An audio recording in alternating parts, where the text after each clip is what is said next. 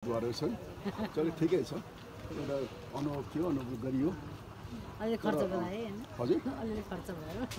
त्यो त भइहाल्छ त्यो त उठेपछि त खर्च त हुन्छ भनेरै उठिन्छ होइन? सिकेको सिकाइ चलो, भयो हजुर हजुरको नम्बर मलाई दिइराख्नु विजय सर पनि यहीँ आउनुभएको? हजुर त्यही अलिकति मद्दत गरिराखौँ भनेर आएको। सहयोगको लागि? हजुर। सहयोग गर्नुभयो? हजुर आर्थिक कि खाद्यान्न कि खाद्यान्नहरू अलिकति इमिडिएटली केही number nine eight two seven three six two four double nine nine जिताएर आफ्नो ठाउँमा छ तर पनि आउनुको खुसी लाग्यो है। मेरो तर्फबाट यस्तो त यो भन्नु त एक्चुअली यस्तो घटना त हामी सबैको बेजती हो नि। हो नि यो त धरानकै यो धरानकै बेजती हो नि। नाम सुन्दाखेरि धरानले महिला समूहले नै फेरि आ- हुन्छ नि त न्युज गयो त्यसले गर्दाखेरि त न्युज धरान जस्तो ठाउँको महिला आम समूहको? मान्छेले मान्छे कुटेर मार भनेर त्यस्तो लागिरहेको छ क्या युट्युबमा न्युज त्यस्तो। हालिरहेको छ हामी सबैले भन्दैछौँ सङ्कल्प लिएको छौँ नि म महिला हिंसा गर्दिनँ हिंसा भएको देख्न हो। मान्छेले चाहिँ सुनेको। झन् यो त लैङ्गिक हिंसा विरुद्धको दिवस चलिरहेछ एकदमै गरेको। यो त बर्बर युगमा भनौँ न कुटी त्यस्तै। कुटी मार्ने यहाँभन्दा बर्बर त के हुन्छ त्यो त अरू त केमिकल्सहरू मिलाएर त्यो एसिडहरू मिलाएर दुनियाँभरको मिलाएर मतलब त्यो प्लानिङ गरेर आउनु भनेपछि त त्यो विभत्स हत्या हो नि। त्यस्तो त हुनु हुँदैन विजय कुमार राई। हजुर भारतै गएको पनि हो नि हजुर छु छु।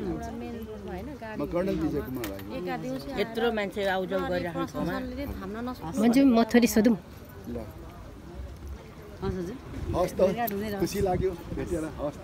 थोरै बस्छु ल जस्तै धरान जस्तो ठाउँमा दिउँसै होइन सबैले देख्ने गरी ठुलो समूहले ठुलो सङ्ख्यामा चाहिँ यसरी एकजना महिलालाई कुटपिट गरेकै कारण आज हत्या भएको छ। यो घटनालाई हजुरले कुन रूपमा लिनुभयो यो सुन्दाखेरि त अत्यन्तै महिलामाथिको यो बर्बरतापूर्वक चाहिँ होइन हत्या हो एकदमै सुन्दा कुटी कुटी मार्ने भन्ने समाचार सुन्ने बित्तिकै एकदमै मन छोयो होइन दुख्यो मन। त्यसले गर्दा यो धरान सचेत ठाउँमा सचेत ठाउँमा पनि यस्तो घटना हुनु हाम्रो लागि सबै आम महिलाहरूको लागि नै दुःखदायी कुरा हो।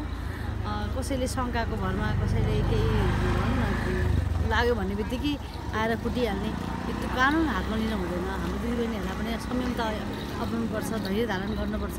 के हो भन्ने कुरा सत्य तथ्य छानबिन गर्नुपर्छ।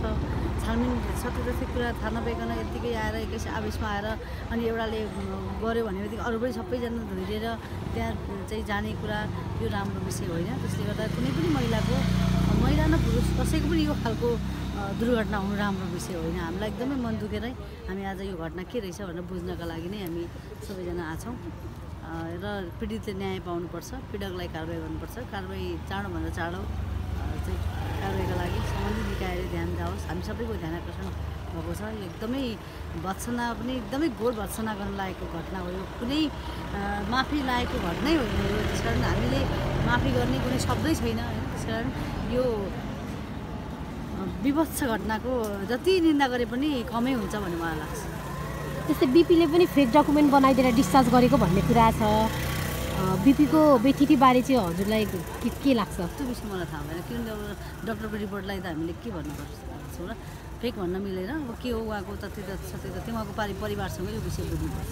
जस्तै धरानमा पछिल्लो समय हत्या हुने हिंसा हुने पटक पटक मर्नेमा चाहिँ एकदमै महिला छन् यो चाहिँ के कारणले होला?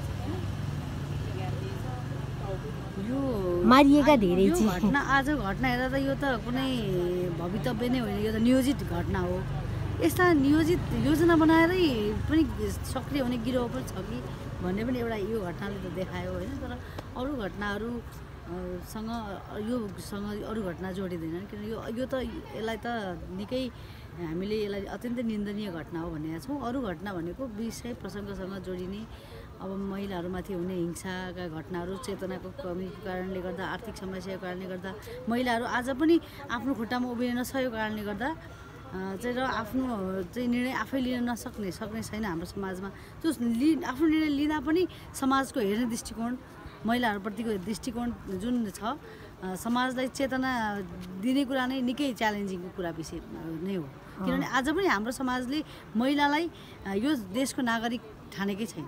हाम्रो समाजले महिला पनि चाहिँ राज्य चलाउने हो र महिला पनि यो देशको शासक हुन सक्छन् र महिला भनेर जुन दोस्रो दर्जाको नागरिकको रूपमा महिलालाई हेरिन्छ अनि ल्याउने महिला ल्याइने महिला चाहिँ बिहा गरेर ल्याइने ल्याउनु के का लागि भन्दाखेरि समान जीवन जिउनका लागि होइन कि उसको चाहिँ आश्रित भएर जीवन जिउनका लागि भन्ने जुन परिवारभित्र त्यो त्यो खालको बुहारी किन ल्याइन्छ भन्दा आफ्नो घर परिवारको काम गराउन भन्ने खालको चेतनाबाट माथि उठ्न जबसम्म हाम्रो समाज सक्दैन तबसम्म हिंसा घटना भइरहन्छ। अहिले पनि सुनिरहेको छु म एउटा डाक्टरको घटना एउटा महिला होइन डाक्टरबाटै पीडित भइरहेको घटना पनि सामाजिक सञ्जालमा आइरहेछ। हाम्रो चेतनशील समाजमा पनि घरभित्र त्यो छ। शिक्षित समाजभित्र पनि यो महिलामाथिको हिंसा छ। कारण यो हिंसा हुनु हुँदैन हिंसा सहनु पनि हुँदैन। हामी कति चाहिँ सहेर बाहिर निकालिरहेको छैनौँ। यो घटना आज एक महिना पछाडि हामीले थाहा पायौँ। यो घटना भनेको के त भन्दा। सहेको मृत्यु भएपछि मात्रै हामीले यो घटना थाहा पायौँ भनेपछि कति घटनाहरू त समाजमा बाहिर निस्किँदा नै रहेनछन् भन्ने पनि थाहा पाइरहेको छ त्यस कारण कतिले बोल्न सक्छन् कतिले बोल्न सक्दैनन्। बोल्दाखेरि पनि कसले सुनिदिने? त्यत्तिकै बाहिर चाहिँ दबिएर बस्ने अवस्थाहरू छन्। त्यसका लागि हामी सङ्गठित रूपमा महिलाहरूको अभियान चलाउनु जरुरी छ। जस्तै हजुरले त मेयर उपमेयर भएर पनि हजुरले त्यति धेरै काम गर्नुभयो नगरपालिकामा न्यायिक समितिमा पनि। जस्तै अहिले चाहिँ सबै महिलाहरू तेह्र नम्बरवासीहरू चाहिँ दिउँसै डराएर बस्नुपर्ने एउटा त्रासको वातावरण भइरहेछ। धेरैजनाले हामीलाई बस्नु पनि डर लागिरहेछ। हामीलाई पनि दिउँसै मार्छन् कि भन्ने डर छ भन्ने धेरैजनाले भनेको सुन्यौँ यहाँ फिल्डमा आउँदा। के भन्न चाहनुहुन्छ हजुर? कसरी हौसला दिन चाहिँ चाहनुहुन्छ? हाम्रो यो न्याय मरे नमरेको ठाउँ हो न्याय मर्दैन। म- मलाई विश्वास के छ भने कुन घटनाले गर्दा भवितव्य भयो एक उहाँहरूलाई त्यस्तो हुन गयो तर हामी सबै साथमा छौँ। कुनै पनि दिदीबहिनीहरू अन्याय परेको महसुस गर्नुभएको छ भने सम्पर्क गर्नुहोस्। हामी सारा न- नगरवासी तपाईँको साथमा छौँ। ताजा आलु चाहिँ हुनु पर्यो। होइन। हामीले थाहा पाउनु पर्यो। थाहा पाएको बेलामा हामी तपाईँहरूलाई साथ दिन दुःखमा साथ दिन हामी छौँ। हाम्रो जनप्रतिनिधि हरेक वार्ड वार्डमा महिला जनप्रतिनिधिहरू हुनुहुन्छ। वार्ड वार्डमा चाहिँ दुईजना दुईजना तिनजना जनप्रतिनिधि वार्ड वार्डमा हुनुहुन्छ। न्यायिक समिति छ नगरपालिकामा न्यायिक समिति छ प्रशासन छ कि न्याय हराएको देश हो र कानुन नभएको देश हो र? त्यस कारण कानुन छ। अपराधी त्यस्तो घटना घटिहाल्यो भने अपराधीलाई चाहिँ कडा कडाभन्दा कडा कारवाही गर्नुपर्छ जुन हाम्रो कानुन बमोजिम हुने नै छ भन्ने कुरा छ र केही अप्ठ्यारो पऱ्यो भने सम्बन्धित छिट्टै भन्ने कुरा भनेको आफ्नो ओडाको सदस्य ओडा अध्यक्ष हुनुहुन्छ त्यहाँसँग गएर कुरा गर्न सकिन्छ। न्याय अहिले पनि मरेको ठाउँ होइन न्याय मरेको देश होइन यो। कानुनले चलाएको देश हो त्यस कारण हामीले लोकतन्त्र ल्याएको यो चाहिँ लडेर ल्याएको व्यवस्था हो। यो व्यवस्थामा कसैले पनि यसरी चाहिँ खुलेआम मान्छेमाथि हत्या गर्दै हिँड्ने कुरा स्वीकार्य छैन स्वीकार्न सकिँदैन पनि। र हामी सबै त्यो चुप्प लागेर बस्दैनौँ पनि यो अन्याय सहेर पनि बस्दैनौँ सहन पनि दिँदैनौँ। हुन्छ धन्यवाद। यो चाहिँ हाम्रो अहिले तेह्र नम्बर वडा कार्यालय वडा अध्यक्षको घर यहीँ केही तलतिर रहेको छ मृतकको घर। यहाँदेखि तलतिर छ भने उहाँलाई कुटिएको स्थान चाहिँ यो रहेको म जानकारी गराउन चाहन्छु। धन्यवाद।